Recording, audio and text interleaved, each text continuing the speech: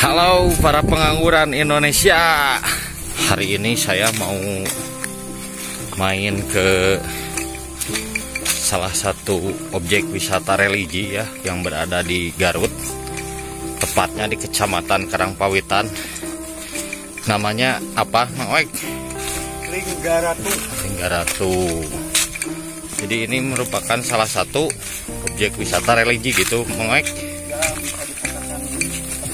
sana ada situs batu yang sangat gede berada di puncaknya gunung yang nggak terlalu tinggi ya. Kalau orang sini bilangnya pasir. Masih oke oke tadi dari Garut kota kita ke sini berapa menit Mang Oek tadi Sekitar setengah jaman. Oke Kalau jalan ya, kalau ke jalan tiga minggu juga nggak nyampe. jadi cukup sebentar setengah jam pakai sepeda motor cuman hati-hati karena jalannya agak lumayan ya mengeknya rada adventure eh jalana wuh. Ngeri ngeri agak kita toroso sama ini. Tadi eh, motor kita titipkan di pila ya. Di warga tapi kita tidak dapat tiket masuk juga ke sini eh nggak tahu kalau hari libur. Kayaknya di, di tiket eh Nggak ada yang tiket, cuma oh tadi tiket. Lagi ramai pengunjung di villa yang barusan nyimpen motor itu kan ada yang dulu ada yang nungguin karena motornya banyak paling kita bayar sih kelasnya. oh buat parkir. Nah siap siap siap. Baik teman-teman, saya jelaskan sedikit lagi. Jadi kenapa Gunung Linggaratu ini disebut objek wisata religi karena di Gunung Linggaratu ini ada satu makam yaitu makam Linggaratu atau makam Prabu Kingking. Nah, Prabu Kingking itu sendiri adalah yang dianggap menjadi penyebar agama Islam pertama di kota Garut dan tidak jauh dari makam Prabu Kingking ini ada banyak deretan batu bersusun yang sangat besar dan tersusun unik ya. Jadi kelebihannya itu dari Gunung Linggaratu ini. Menurut warga sekitar hampir setiap hari ke Gunung Linggaratu ini banyak yang berziarah dari kota Garut maupun dari luar kota Garut.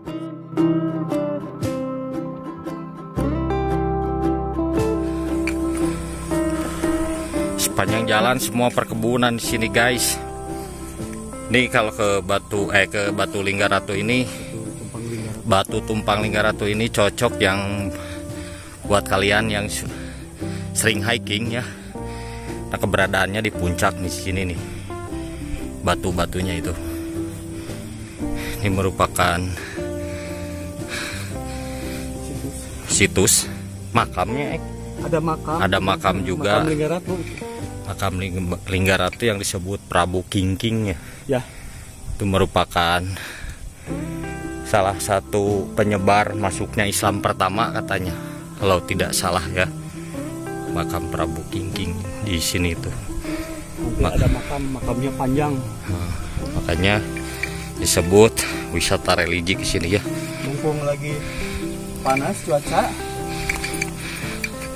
kita gaskan saja meskipun tidak bawa bekal apa-apa tetap cemut ya cemut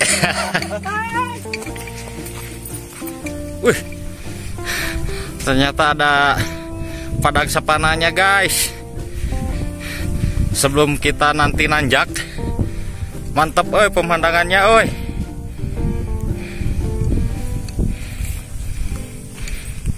Ini dikelilingi sama perbukitan dan perkebunan guys. Mantap. Serasa di mana nih bagus?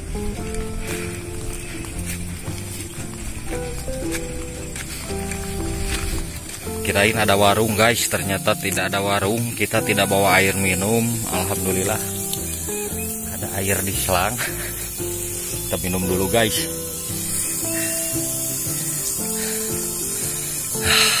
air dari gunung langsung guys lebih enak daripada aqua sama le minerale ini mah guys kayak ada segar-segarnya guys keren keren keren guys selang minum malah guys.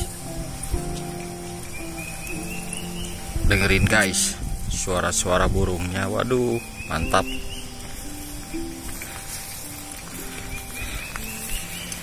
Ah ini mas rasa naik gunung eh hiking. Soalnya ini benar-benar di atas gunung emang benar di atas gunung guys. Suasananya dapat juga eh uh ternyata guys sebelum menuju ke puncaknya belum menuju ke batunya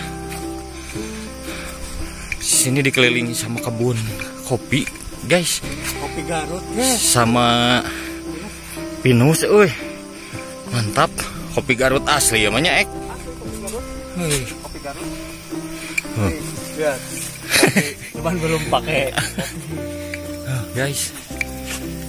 Kebun kopi Garut guys sama pohon pinus. Oh oh, oh iya motor naik. Di dia. Eh eh sih. Oh jalannya kan anu misalkan kita orang tadi di dia eh kuduna ka dia ya mah dikitukeun tah sigan teu dilandaikeun sigana diputerkeun. nah, tapi mudun tuluy nah henteu naik gitu. Ka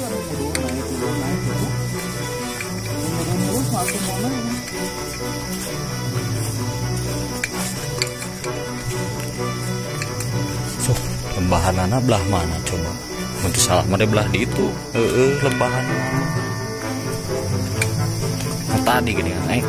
Cobaan. Jelema euy tapi kita ka disaung lah tungguan jelema sugan aya si ah, daya motor.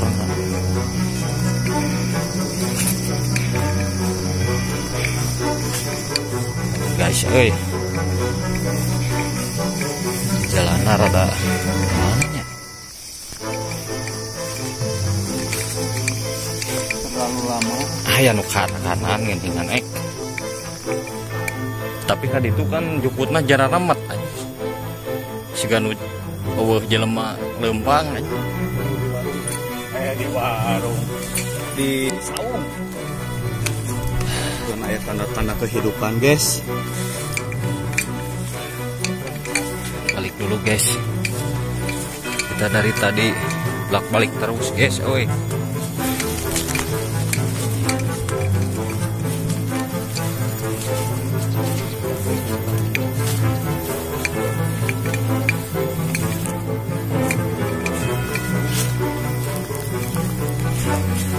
Eh diteruskan kan itu udah kelakar turun, eh lain naik.